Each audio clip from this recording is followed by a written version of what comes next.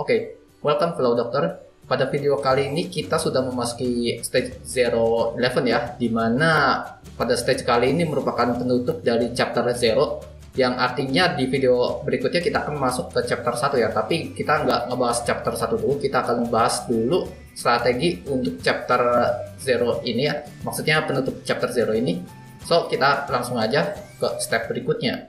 Step number one, analisa lawan. Oke, ini dia untuk uh, musuh-musuh yang akan kita temuin di stage uh, Zero Eleven ini. Ada 6 musuh yang sebenarnya cukup merepotkan ya, terutama si Hon sama Originum Slug ini. Yang pertama ini Originum Slug ini mah yang paling lemah, kalian nggak usah terlalu pusing-pusing sama yang satu ini. Uh, kemudian Originum Slug Alpha dia HP-nya dia sedikit lebih tinggi dan biasanya ini kadang-kadang muncul itu dalam jumlah yang tidak main-main ya kadang-kadang sih ya jadi kalian jangan sepele sama satu ini yang ketiga ini Hound.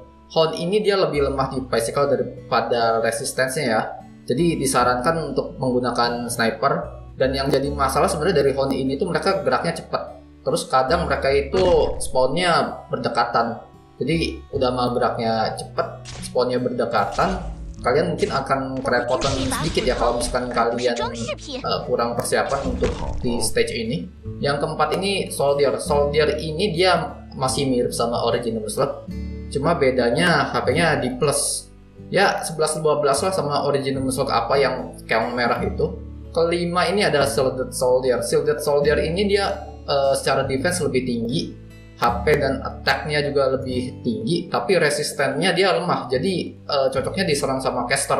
Kemudian ada jumpman jumpman ini dia lemahnya di defensif ya penggunaan sniper mungkin cukup efektif tapi kalau bisa kalian jangan cuma ngandelin sniper doang ya. Tambahin juga uh, splash caster di sini karena di sini bakalan ngehorde. Soalnya di sini cuma ada satu titik biru doang.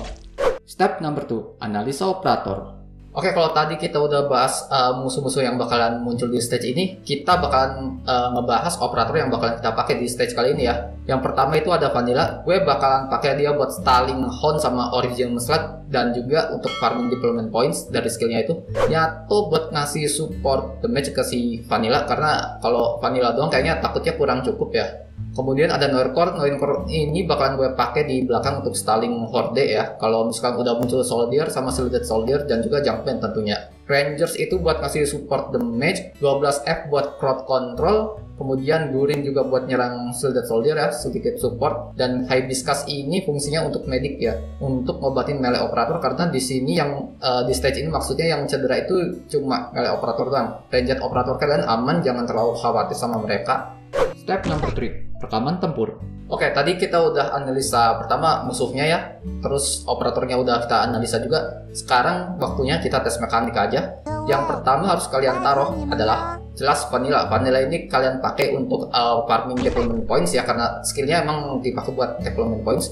Dan juga dia bisa digunakan untuk stalling awal-awal. Terlebih dia ini skillnya bisa ngebuff tagnya vanilla juga yang kedua itu kalian taruh Yato. Yato di sini ya seperti yang udah gue jelasin tadi, uh, dia fungsinya buat um, ngasih support damage ke Vanilla sama Noircore ya nanti di belakang-belakang uh, si Yato jangan di uh, undeploy ya. So, sorry maksudnya jangan di remove, jangan di retreat gitu.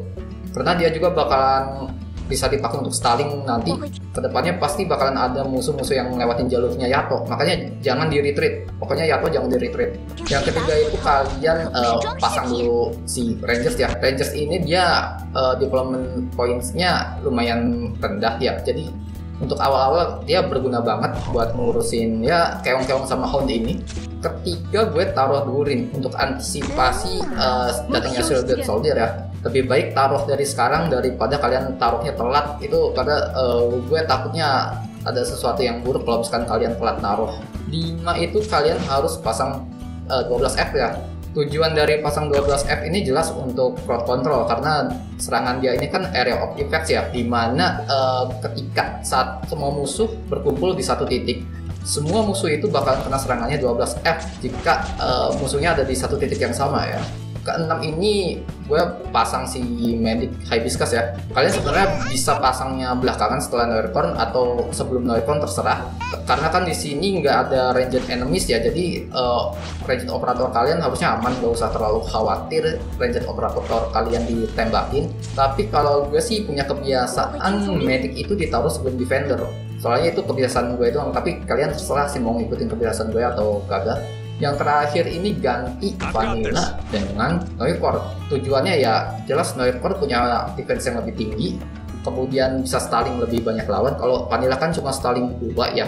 Noircore ini bisa stalling tiga dan juga dia lebih tahan banting kalau uh, dia itu ngeblok musuh-musuh yang attack-nya lebih tinggi gitu ya lebih tinggi ketimbang si original slot maksudnya kayak si Jumpman ini misalnya kalau udah kayak gini sebenarnya harusnya kalian tenang-tenang aja yang penting uh, skillnya Hibiscus dipakai di saat yang tepat. Kalau bisa sih pas si Yato-nya sekarat pakai uh, skillnya Hibiscus biar uh, healingnya Hibiscus itu lebih gede ke Yato ya. Karena Yato ini defense-nya nggak setinggi Noircorn. Oke itu dia uh, paduan untuk Operation Zero Eleven ya. Gak kerasa kita udah sampai penutup chapter 0 berarti di video berikutnya kita akan memasuki chapter 1 dan udah pasti kemungkinan difficulty-nya bakal uh, lebih tinggi dikit. Jadi kalian kalau bisa build uh, operator bintang dua kalian seenggaknya level 10 saran gue sih kalau bisa level 30 langsung. Dan untuk operator bintang 3 nya gue saranin build sampai level 40 kalian build aja dulu operator operator level uh, maksud sorry maksudnya bintang 3 dan bintang 2 untuk bintang 4 nggak uh, apa-apa kalian nge-build tapi level uh, rekomendasi gue sih level 40 aja ya nggak usah di S1 dulu karena untuk S1 operator bintang 4 itu bakalan perlu material. Kalau S1 eh sorry kalau ya kalau S1 operator bintang 3 itu dia cuma pakai LMD sih seingat gue. Pokoknya lebih murah aja ketimbang operator bintang 4 kalau operator bintang 4 dia materialnya emang lebih mahal sih ketimbang operator bintang 3 tentunya. So kita akan kita akan ketemu lagi di video berikutnya See you in the next video. Goodbye.